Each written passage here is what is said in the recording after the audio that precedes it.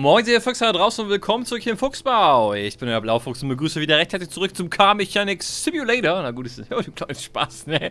Thief Simulator sind wir aber noch dabei. Wir haben im letzten Part unser erstes Auto geklaut und sind gerade dabei, das Ding so ein bisschen auseinander zu schlachten, um Kohle aus den Einzelteilen zu ziehen. Man kann wohl nicht das ganze Auto verkaufen, wobei geht vielleicht auch.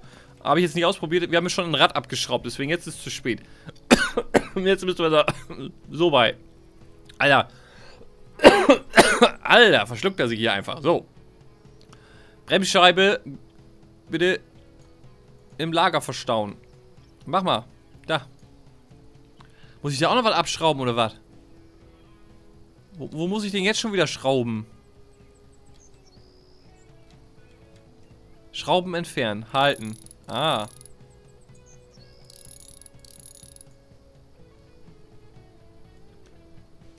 Bremssattel entsorgen.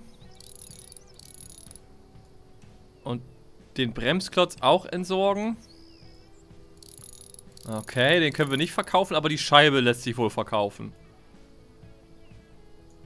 Das ist alles noch ein bisschen frickelig, muss man echt sagen. So, in Lager verstaut. Alles klar. Bremsscheibe wird verstaut. So, wir so reifenmäßig wohl auch fertig. Mehr geht am Reifen jetzt nicht mehr. Alles klar. So. Ja, gleich ist dann mit den anderen Reifen. Jetzt müssen wir mal gucken, wie viel Kohle dabei rumkommt. Ob sich denn der Aufwand lohnt. Also bis jetzt wirkt das alles sehr, äh, wie sagt man? Anstrengend. Aber wenn man weiß, wie es geht, geht es ein bisschen schneller. Ne? Man muss erstmal die äh, Spots finden, an denen man was machen kann. Jetzt wieder die Schräubchen rausschraubseln. Dann können wir das Rad ablösen und ins Lager packen. Und dann das gleiche mit der Bremsscheibe. Upsala. Eben gedrückt halten, Schraube raus, ja, weiter raus, bitte ganz raus, die Schraube auch eben nur raus, ne, das Ding wird weggeschmissen. Bremsbacke 1 wird weggeschmissen, ja los. So, Bremsklotz 2 eben auch noch ein Abfall. Also im Auto kommt auch echt viel Müll bei rum, ne, muss man echt sagen. Und dann das Ding eben rein ins Lager. So, zweites Rad fertig, weiter geht's mit dem dritten Rad. Guten Tag. Hallo möchte gerne dieses Rad anfassen. Okay, das Rad will nicht, dass ich es tue. Nochmal versuchen.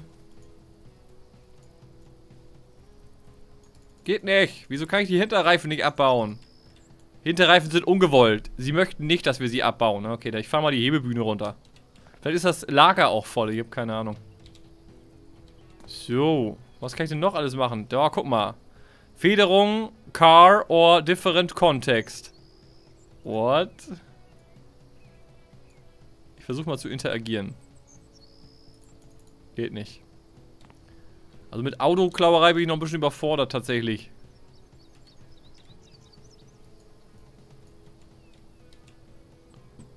Boah, weiß ich jetzt auch nicht, ne? Ich hätte jetzt gesagt, man kann den Motor noch irgendwie rausbauen. Ich fahre da nochmal hoch, das Ding, komm schon. Leute, hier muss doch noch was gehen. Ach, da.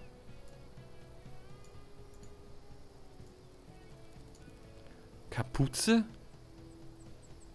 Langsam öffnen. Alter, ich bin total überfordert. Was wollt ihr von mir? Das ist Federung, tatsächlich. Okay, ist kaputt, man kann nichts mehr tun. Egal, wir hauen jetzt erstmal ab. War ganz nett, aber ich bin etwas überfordert. Wahrscheinlich wäre es einfacher gewesen, die Räder dran zu lassen und das ganze Ding zu verkaufen. Nächste Mal. Jetzt gehen wir eben schnell zum Junkyard, verkaufen da mal unseren Krams. Ich hoffe, das geht aus dem aus dem äh, Lager heraus. Howdy. Howdy, na? Winnie, was sagst du? Oh, guck mal hier. Oh, ja. Das ist gar nicht so schlecht. Kann ich den restlichen Bolton auch noch verkaufen? Ja, gibt 500. Ja, komm, hier kannst du auch noch haben. Und ein Radio habe ich auch noch. Geil. So. Ne, Winnie, dann, äh, ne, Winnie haben wir ja schon. Wer ist denn das? Wir haben Iggy, wir haben Winnie. Und wer bist du? Hast du, hast du auch einen Namen? Also ich bin der Blaufuchs, ich bin inzwischen relativ bekannt in den Kreisen. Ich habe aber jetzt gerade erst angefangen so mit der Autoklauerei. Das ist für mich ein bisschen neu. Also, klauen ist jetzt ein großes Wort. Ich, ähm, ich warte die, ne? Also ich nehme die aus der Garage raus und dann warte ich die. Interessiert die nicht, ne? Alles klar, Peter, hau rein, ne? Peter ist es. Das ist der gute... Uh. Peter, Alter, du musst mal... Was ist das denn hier? Das sieht ja alles ganz schön... Na egal. Gut, Peter hat die Karre, alles cool. Wir machen uns jetzt auf zur Richie und äh, ja, bring ihm die Kiste, ne? Unbemerkt natürlich, unbemerkt.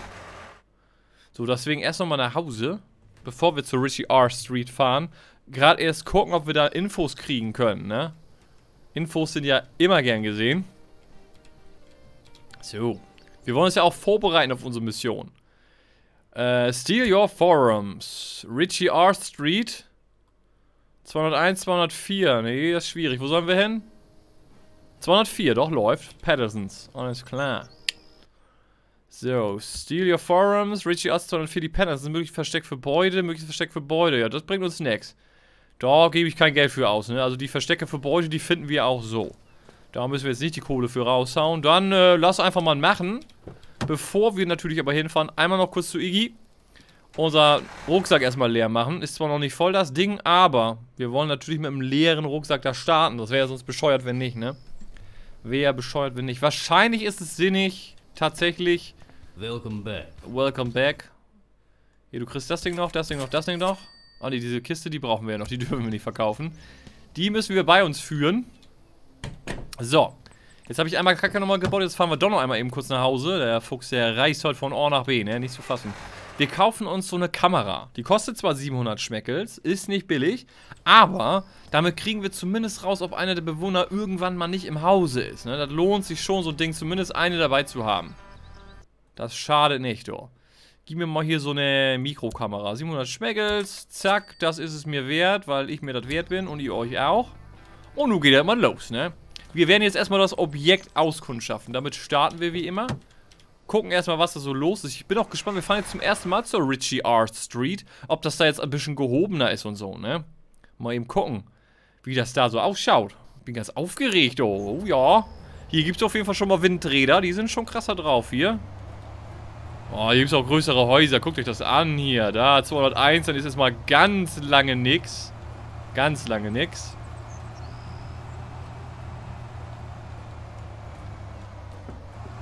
So, wir müssen zur 204.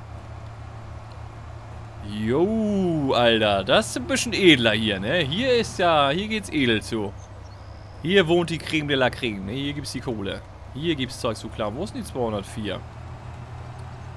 204 fühlt sich wohl zu gut. Die, die wollen nichts mit den anderen zu tun haben. Okay, so ein Containerdorf, das ist natürlich schon ein bisschen scheiße. Das ist nicht unbedingt schön. Wuhuhu, wow.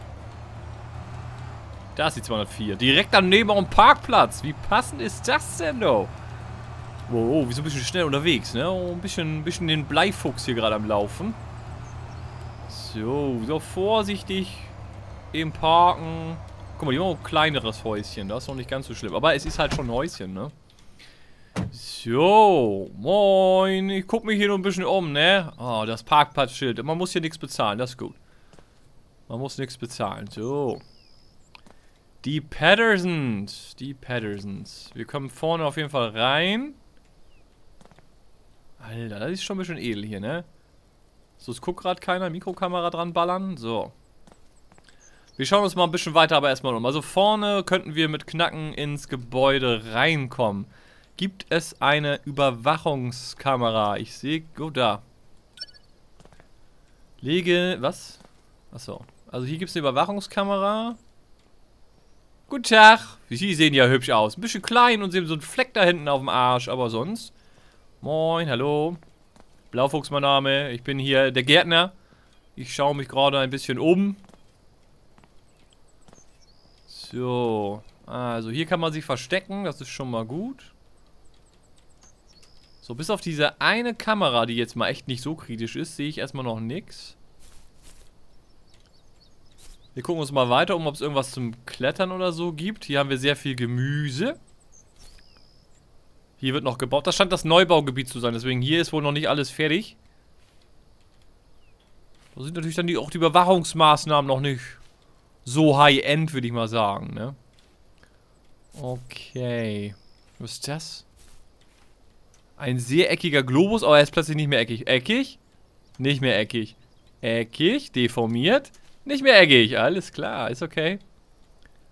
Muss man jetzt nicht unbedingt verstehen. Also rein geht's wohl wirklich nur vorne. Es gibt eine Überwachungskamera bis jetzt, die relativ sinnfrei ist, wenn man ehrlich ist. Ja, es gibt aber keinen Stromkasten oder so, also an der müssen wir einfach vorbei. Aber wie gesagt, die ist relativ sinnlos, weil... Ja, wenn ihr seht, wo die hinballert, da kannst du einfach dran vorbeilatschen, ne? Hier geht das Tor auf und, naja. Man muss da ja nicht reinlatschen, ne? Das kann man ignorieren. Ja, na gut, dann würde ich sagen, pennen wir eben einen Tag auf dem Parkplatz. Das fällt ja nie auf, wenn da irgend so ein Penner einfach taglang mal eben auf dem Parkplatz steht und chillt. Und äh, gucken dann erstmal, wie es aussieht bei denen, ne? So, schlafen wir bis äh, 16 Uhr. Zapp. Oh, ne, ich habe mir auch so nebenbei so ein Sandwich gemacht und so, alles gut. Bisschen Switch gespielt. Gehört alles zur Arbeit. Ist alles Arbeitszeit hier. So. Du. Gucken wir mal. Die Kamera sagt. Guten Tag. Alter, was, was hast du denn hier? Wieso bin ich verdächtig, Junge? Ich, ich stehe hier doch nur. Alter, er sieht aber auch verbrechermäßig aus, ne? Wir mal jetzt Hashtag Real Talk. So, tägliche Routine der Bewohner läuft. Das war 700 Schmeckels wert. Also, wir haben hier nicht viel Zeit. Nicht viel Zeit. Oh. Ich habe Tab gedrückt und der wandert sofort raus. So, eben kurz mal gucken. Also, nicht zu Hause, nicht zu Hause. Ab 21 Uhr ist Ruhe. Bis um 3. Oh, ist doch gut. Das heißt, wir pennen jetzt bis 21 Uhr. Und machen uns dann mal munter dran. Das war doch die 700 Schmeckel wert. Wichtig ist dann nur, dass wir die heute wieder reinkriegen. Und beim nächsten Mal haben wir dann ja die Routine. Da kann ja nichts mehr schief gehen. So, pennen wir bis 21 Uhr. Zack. Und dann geht's mal los. Das Schlimme ist halt nur, wir müssen da rein. Und hier sind überall Leute. Ich hoffe, wir können das mit dem Autopicker aufmachen. Dann würde es gehen. Ohne Autopicker wird das scheiße. Ja, automatischer Dietrich geht raus. Und gib ihm.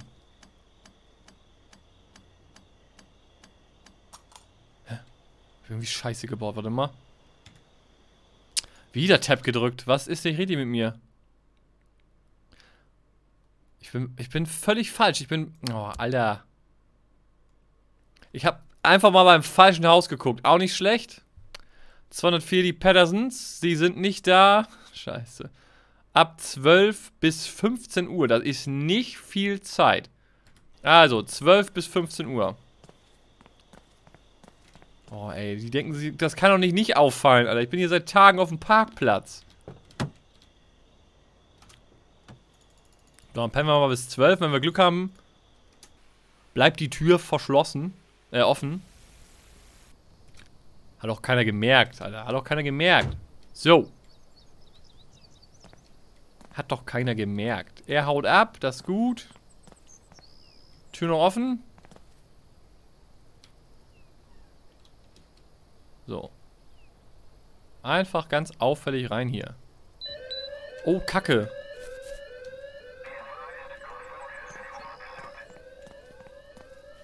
Scheiße. Die Kamera hat mich aufgenommen? Kann das denn sein? Wo ist denn der Mülleimer? Kacke, Mann. Hier war doch irgendwo so ein Mülleimer. Officers are on the scene.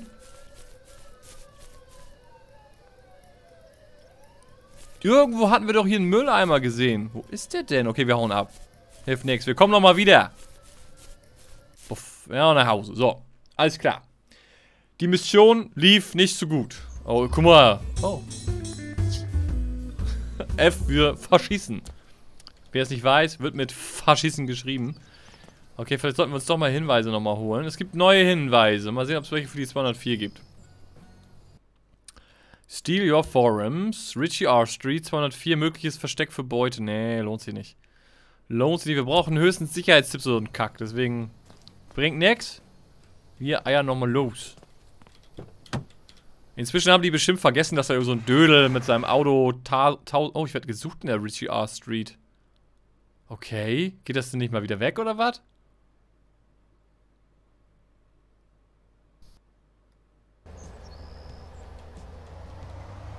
Also ich weiß jetzt nicht so genau, warum da dieses Symbol noch dran ist, aber... Wird doch gar nicht mehr gesucht. Ist doch alles gut. Oh, Kacke. 6 Dollar Reparaturkosten, weil ich so einen Stein mitgeballert habe. Ohne Kacke. Okay, so.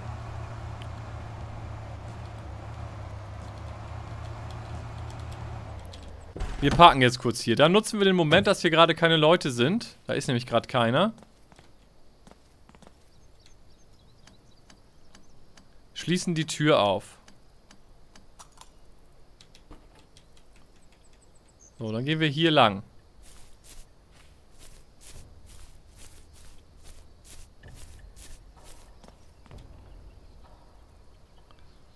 So, vorsichtig. Kann ich einen Glasschneider verwenden? So. Nu sind wir drin. Okay, wie viel Zeit haben wir noch? Ein bisschen. Nu geht's los. 11 Dollar, 7 Dollar, alles scheiße. Oh, geil. Eben Computer mitnehmen. Router geht auch immer. Smartphone geht immer. So, hier muss diese Kiste, glaube ich, hin. Aufgabe erledigt. Nice. So. Okay, Aufgabe ist schon mal erledigt. Müssen jetzt trotzdem eben noch weiter gucken. Oh, ein Drucker. Geil. Den nehmen wir gleich noch mit. So.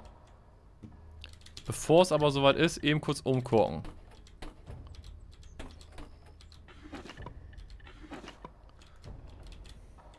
Ist das Ding?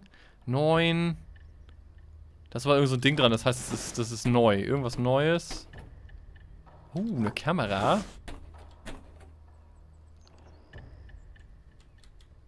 Kinderzimmer, hat der noch irgendwie ein U-Phone oder sowas?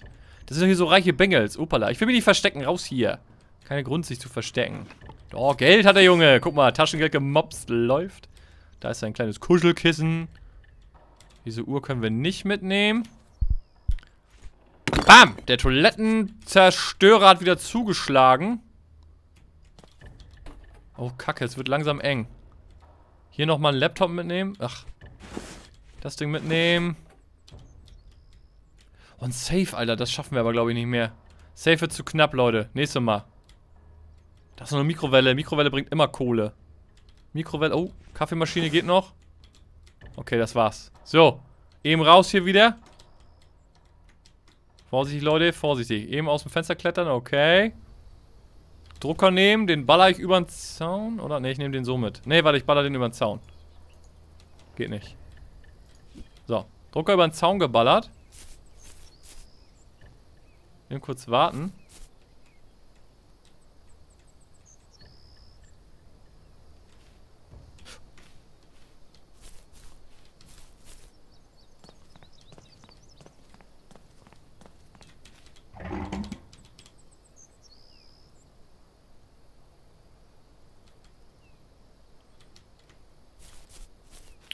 Eben kurz chillen. So, hier ist irgendwo unser Drucker.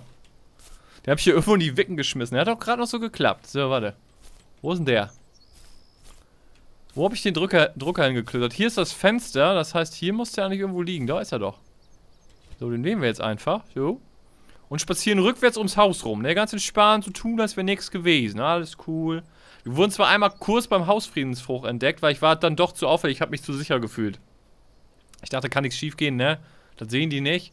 Haben die doch gesehen. Aber das lief ganz gut. Also eigentlich, man hat zwar nur ein kurzes Zeitfenster, aber wenn man jetzt keine Aufgabe hat, wie irgendwie äh, und wir sind auch ein bisschen später eingestiegen, weil ich ja einmal Scheiße gebaut habe und nach Hause gefahren bin. Aber wenn man das direkt macht, hat man genug Zeit, um auch an den Safe ranzukommen und so. Und dann kann man sich da schon die Kohle reinschüren. Also die haben halt gut ordentlich PCs und so. Da geht ein bisschen was, ne? Da, da mal gucken, was das gleich an Kosten reinbringt, ne? Aber ich habe da ein ganz gutes Gefühl, muss ich sagen. Dann noch den Drucker. So ein Drucker ist immer wertvoll, ne? So. Oh, was mit meiner Karre passiert? Alter. Scheiße, was ist da denn los? Oh, nee. Oh, nee. Ich bin doch vorne irgendwo gegen geballert. Wie kann das denn hin? Oh! Oh, nee. Was ist da denn kaputt? Na gut. Mit diesem wunderbaren Anblick unseres komplett zerbeulten Autos machen wir dann an dieser Stelle hier einen kleinen gemütlichen Break. Ich bedanke mich wie immer bei euch fürs Zusehen. Hoffe, ihr hattet soweit ein bisschen Spaß. Wenn euch das Ganze gefallen oder nicht gefallen hat, lasst doch eine Däumlein da. Kommentare und Feedback natürlich wie immer gerne unter Video posten. Und ansonsten sehen wir uns dann gleich im nächsten Port wieder. Bis dahin, viel Spaß beim Zocken. Tschüss, euer Blaufuchs.